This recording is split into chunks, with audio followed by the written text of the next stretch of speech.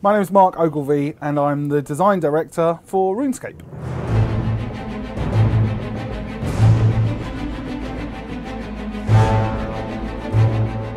A design director is responsible for the vision, the game. the game world, so all of the characters that exist within that game and the new stories that we add to the product as well. So the new updates, the new gameplay, the quests, the adventures, the dungeons. It's almost like an author of a book. Um, quite often that book will become quite popular and lots of other people will write stories about the things within that book and that author will decide whether or not they're the right or the wrong stories to write about their characters. That's very much the kind of thing that I do. So I've been involved with the games industry for about 20 years.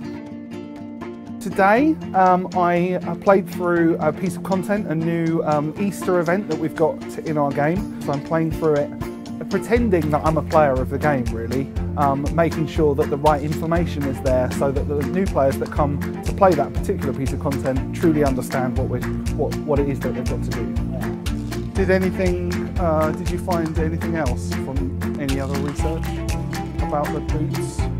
Quite often being in the games industry is like being a big kid.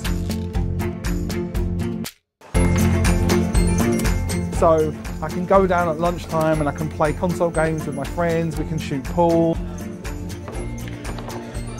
Lots of us around the office have got Nerf guns, um, because you know once, once someone starts a war, war grows and everyone has to make sure they can defend themselves. So everybody's got a gun tucked under their office just in case everything starts kicking off, right?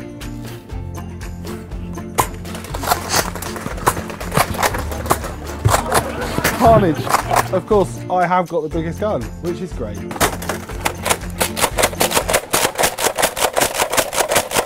Watching your ideas come to life is the greatest part of my job. So it's just a little thing that's in your mind that's kind of bouncing around in the cave caverns of my brain somewhere. And actually seeing an artist putting pen to paper or and, and seeing an animator watch these things move around is uh, is an amazing experience. So this is an idea that I had a long time ago um, and it's fantastic when an artist actually puts these things to life. So you can see the costume that she's wearing. She's got this like re really rich opulent costume, but it's all been torn up by all of the adventuring that she's done over the years. And the, she's like a kind of cross between Lara Croft and Indiana Jones uh, and Robin Hood. Now, when I was at school, I wasn't much of an artist. So I might have these cool, crazy ideas, but I wouldn't be able to draw a nice picture of it or I wouldn't be able to sculpt it out of clay.